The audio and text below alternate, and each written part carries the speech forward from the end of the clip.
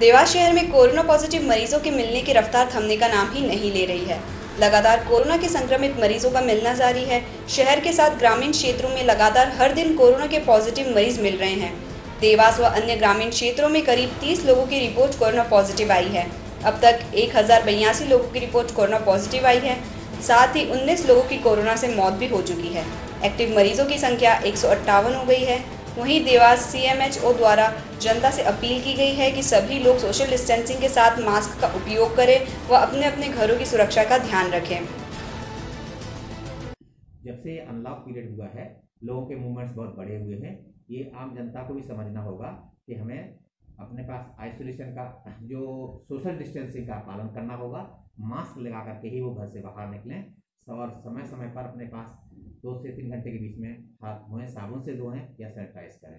Sir जैसे अपने देवास जिला अस्पताल में से भी निकले हैं सर जो बिल्कुल पॉजिटिव ही निकले हैं इसमें कोरोना में। हाँ निश्चित रूप से निश्चित रूप से अगर ये हमारे अस्पताल में सभी तरह के मरीज़ आते हैं और संक्रमण की संभावना बनी रहती है लेकिन हमने समझाइश दी गई अपने पैरामेडिकल स्टाफ को भी कि वो सुरक्षित रह करके पीपी किट जहाँ पर उनको काम करना है कोविड वार्ड में तो पीपी किट का उपयोग करें सैनिटाइजेशन का उपयोग करें इस तरह से हम उससे संक्रमण से बच सकते हैं।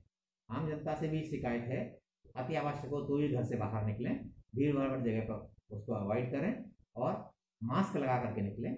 सोशल डिस्टेंसिंग का अगर पालन करेंगे तो हम इस चीज़ से बचे रहेंगे। जब भी कभी सर्दी, खांसी, बुखार हो, तुरंत फीवर क्लिनिक पर आएँ, अपनी जाँच कराएँ।